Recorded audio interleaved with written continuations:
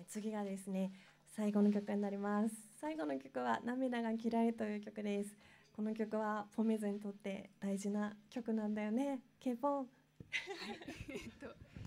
えー、ぽめズの立ち上げメンバーの一人である私から説明させていただきます。お願いします。はい。えっと、まあ、ぽめズってバンド名がぽめがひらがなでズーがカタカナで最後に星マークがついてるんですけど、まあ、これは「涙がキラリ」の曲が「キラリ」がカタカナで最後に星マークついてるのでそこから取ってきました。はい、ででなんか今回クリスマスライブなのでなんかクリスマスの曲ないかなって探してたんですけどあんまりスピッツでクリスマスの曲がなくてっていうのもなんか「涙がキラリ」のこと調べてたらこの曲が平成7年の7月7日にリリースされててわざとその日に合わせてリリースしたそうなんですけど、まあ、なんでそんな七夕推しかっていうと、まあ、当時スピッツがクリスマスばかりがなんか恋人たちの特別な日とされてることに反発して七夕の方がもっとロマンチックだろうということで七夕をクローズアップしたいということでその日にリリースしたそうなんです。で、まあ、確かに七夕の方がね、織姫と彦星が年に1回しか会えないっていう日で、まあ、まあ、言われてみればそうだなっていうふうに 思ったんですけど、はい、なので、まあ、ちょっとクリスマスにちなんだ曲ではあるということです。はい。でまあ、七夕の曲なので、まあ、来年の七夕ライブでまたやりたいなと思ってます。はい、はい、なんでまた大丈夫？はい。またはいお会いしましょうということで最後の曲で OK いきます。涙が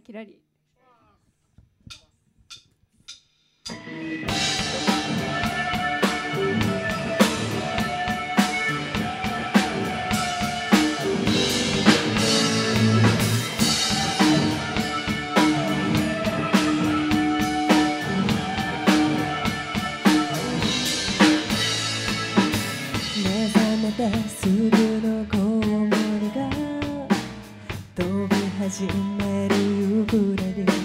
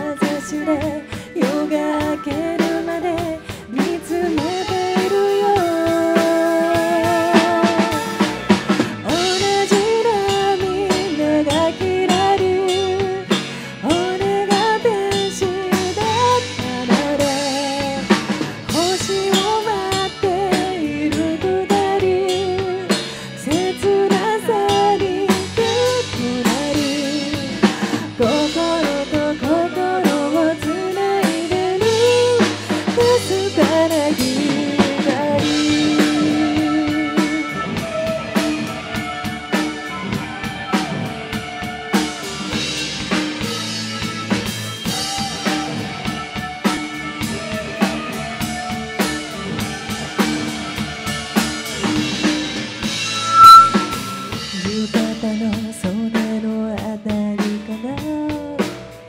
漂う夏の景色浮かんで消える骸骨が鳴らすよ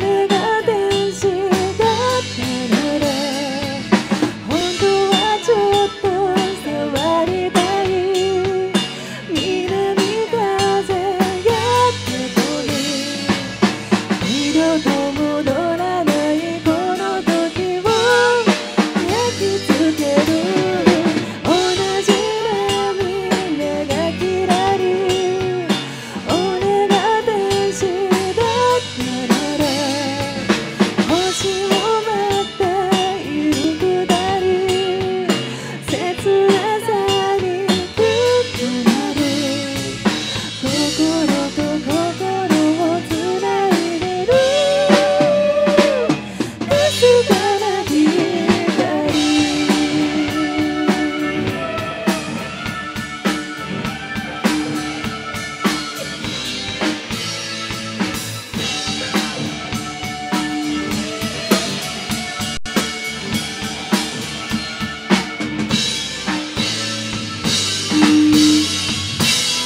りがとうございました。ポメズでした。